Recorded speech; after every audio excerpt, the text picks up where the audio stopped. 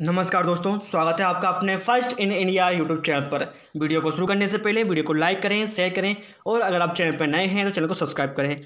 आज हम इस वीडियो के माध्यम से जानेंगे कि भारत के प्रथम भारतीय कमांडर इन चीफ कौन थे।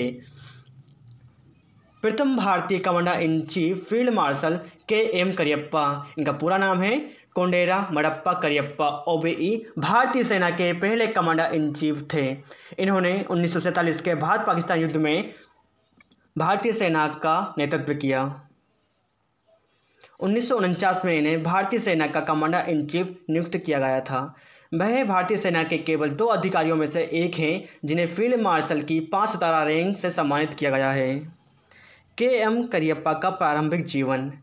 करियप्पा का जन्म 28 जनवरी अठारह सौ निन्यानवे को कोडगु कुर्ग में हुआ था, जो कोडन वंश के किसानों के परिवार में थे। उनके पिता मडप्पा ने राजस्व विभाग में काम किया। उन्हें अपने रिश्तेदारों के द्वारा चिम्मा के नाम से संबोधित किया जाता था। 1917 में मदिकेरी के केंद्रीय उच्च विद्यालय में अपनी शिक्षा पूरी करने के बाद उन्होंने अपनी शिक्षा को आगे बढ़ाने के लिए चेन्नई के प्रेसिडेंसी कॉलेज में एडमिशन लिया। के एम करियप्पा का मिलिट्री कैरियर करियप्पा ने 1 दिसंबर 1919 को स्नातक किया और उन्हें एक अस्थायी कमीशन प्रदान किया गया। इसके बाद 9 सितंबर 1922 को एक स्थायी कमीशन प्रदान किया गया। यह कमीशन 17 जुलाई 1920 से प्रभावी हुआ। यह उन ब्रिटिश अधिकारियों से करियप्पा का रैंक जूनियर बनाने के लिए किया, जो 16 जुलाई 1920 को royal military college Sandhurst से स्नातक हुए थे।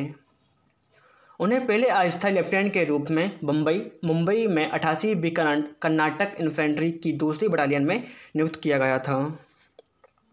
उन्हें एक दिसंबर 1920 को अस्थायी लेफ्टिनेंट के रूप में पदोन्नत किया गया था। बाद में उन्हें दो बटे एक नेपियर राइफल्स में स्थानांतरित कर दिया गया, जो मई 1920 में मोसोपोटामिया, वर्तमान इराक में स्थानांतरित हो गई थी। उन्हें 17 जुलाई 1921 को लेफ्टिनेंट के रूप में परिणित किया गया था।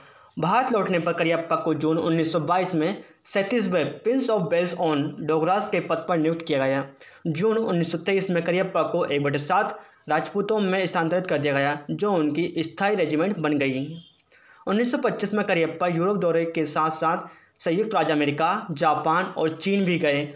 उन्होंने विभिन्न देशों में बड़ी संख्या में सैनिकों और नागरिकों से मुलाकात की। यह दौरा उनके लिए एजुकेशन साबित हुआ। उन्हें एक ब्रिटिश अधिकारी की पत्नी द्वारा कीपर उपनाम दिया गया, क्योंकि उन्हें उनका नाम उच्चारण करने में मुश्किल होती थी, जबकि उस समय के एम करियप्पा फतेहगढ़ में सेवा कर रहे थे। एक मई 1945 को करियप्पा को ब्रिगेडियर के रूप में पदोन्नत किया गया था, जो रैंक प्राप्त करने वाले पहले भारतीय अधिकारी बन गए। आखिरकार नवंबर में करियप्पा को बजरिस्तान में बन्नू फ्रंटियर ब्रिगेड का कमांडर बनाया गया। उन्नीस सौ सैंतालीस में करियप्पा उन दो भारतीयों में से पहले थे जिन्होंने ब्रिटेन के कैम्बली में इंपीरियल डिफेंस कॉलेज में उच्च कमान पाठ्यक्रम का प्रशिक्षण लिया था। इंपीरियल डिफेंस कॉलेज में उन्होंने जो अनुभव प्राप्त किया, उसके साथ करियप्पा ने महसूस किया कि विभाजन के दौरान भारतीय सेना को विभाजित करने से दोनों पक्षों पर विनाशकारी प्रभाव पड़ेगा। तीस जुलाई तीस जुलाई उन्नीस सौ सैंतालीस को करियप्पा को मेजर जनरल के पद पर पदोन्नत किया गया था। भारतीय सेना की एक लड़ाकू शाखा में ब्रिगेडियर मोहम्मद अकबर खान और महाराज श्री राजेंद्र सिंह जी महाराज श्री राजेंद्र सिंह जडेजा के साथ इस पद पर पदोन्नत होने वाले पहले भारतीयों में से एक थे। आज़ादी के बाद करियप्पा को जनरल स्टाफ के डिप्टी चीफ के रूप में नियुक्त किया गया था। नवंबर उन्नीस सौ सैंतालीस में लेफ्टिनेंट जनरल के पद पर पदोन्नत होने पर उन्हें पूर्वी सेना के कमांडर के रूप में नियुक्त किया गया। जनवरी 1948 में कश्मीर की बिगड़ती स्थिति के कारण करियप्पा को वापस राजधानी बुलाया गया और उन्हें जीओसी इन कमांडर दिल्ली और पूर्वी पंजाब कमान के रूप में नियुक्त किया गया। कमान संभालने के बाद उन्होंने तुरंत इसे पश्चिमी कमान का नाम दिया और अपने मुख्यालय को जम्मू स्थानांतरित कर दिया। बाद में उन्होंने lieutenant general S M Udhampur में श्रीनागेश उन्होंने लेफ्टिनेंट जनरल कोंडेरा सुबैया थिमिया को जीओसी जम्मू और कश्मीर बल, बाद में उन्नीसवीं डिवीज़न। उन्होंने लेफ्टिनेंट जनरल कोनेरा सुबैया थिमिया को जीओसी जम्मू और कश्मीर बल, बाद में उन्नीसवीं डिवीज़न के रूप में नियुक्त किया और आत्मा सिंह को जीओसी जम्मू डिवीज़न, बाद में पच्चीसवीं डिवीज़न के रूप में नियुक्त किया। उन्होंने नौसेरा, झंगर, पुंज, जोजिला, द्रास और कारगिल क्षेत्रों पर कब्जे करने के लिए तीन ऑपरेशन किए। Operation Kipper, Easy and Bison को लॉन्च किया। कश्मीर से पाकिस्तानी सेनाओं को पूरी तरह से बाहर निकालने की योजना बनाई गई थी, लेकिन संयुक्त राज्य अमेरिका के हस्तक्षेप से उन्हें रोक दिया गया था। कमांडर इन चीफ, भारतीय सेना। जब lieutenant general sir Roy Bucher की भारतीय सेना के सीएनसी के रूप में नियुक्ति जनवरी उन्नीस सौ उनचास में समाप्त होने वाली थी तो उन्होंने भारतीय के हिस्सा बदलने का निर्णय लिया गया।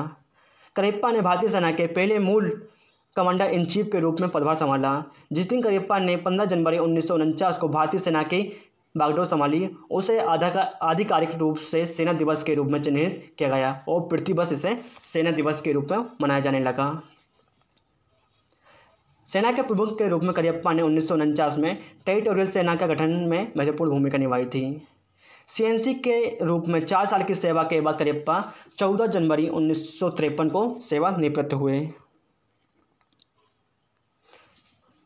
सेवा, सेवानिवृत्त होने से पहले उनके बेटे और बेटी के साथ राजपूत रेजिमेंटल सेंटर में अपने मूल रेजिमेंट, राजपूत रेजिमेंट को विदाई दी। सेवानिवृत्ति के बाद और मृत्यु। लगभग तीन, भारतीय सेना के साथ करियप्पा का गठबंधन लगभग तीन दशकों की अवधि में फैला था, जिसके दौरान उन्होंने कर्मचारियों और कमान के काम का व्यापक अनुभव था। उन्नीस सौ तिरपन में अपनी सेवानिवृत्ति के बाद उन्होंने उन्नीस सौ छप्पन तक ऑस्ट्रेलिया, न्यूजीलैंड में भारत भारत के उच्चायुक्त के रूप में कार्य किया।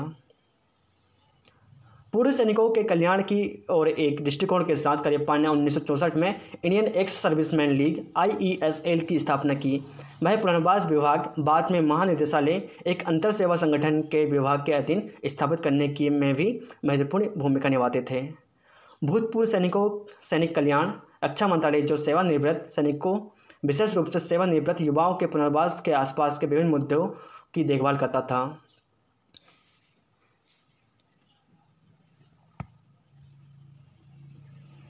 करिप्पा ने कई विदेशी देशों में विभिन्न सशस्त्र बलों के करियप्पा ने कई विदेशी देशों में सशस्त्र बलों के पुनः संगठन में भाग लिया।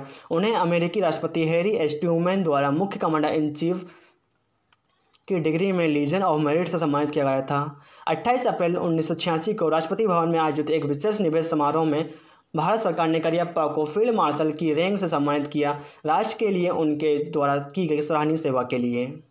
उन्नीस सौ इक्यानवे में करियप्पा का स्वास्थ्य बिगड़ने लगा। वह गाठिया और हृदय की समस्या से पीड़ित थे। 15 मई उन्नीस सौ तिरानवे को बेंगलुरु कमांड अस्पताल में उनकी नींद में मृत्यु हो गई, जहाँ वे कुछ वर्षों से अपना उपचार करा रहे थे। उनके सबको अंतिम संस्कार दो दिन बाद मदिकेरी में किया गया। Field marshal K M Cariappa, पहले भारतीय आर्मी चीफ भी माना जाता है।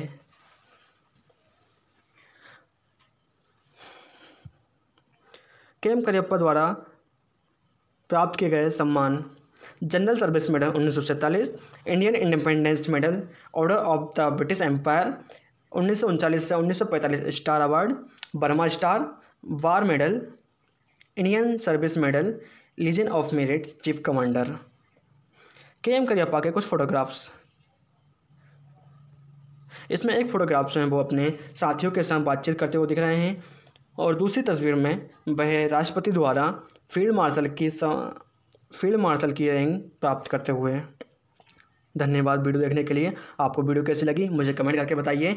और अगर आप चैनल पर नए हैं तो चैनल को सब्सक्राइब करें, चैनल को लाइक करें, शेयर करें। और आप आगे किस टॉपिक पर वीडियो चाहते हैं, मुझे कमेंट करें। धन्यवाद।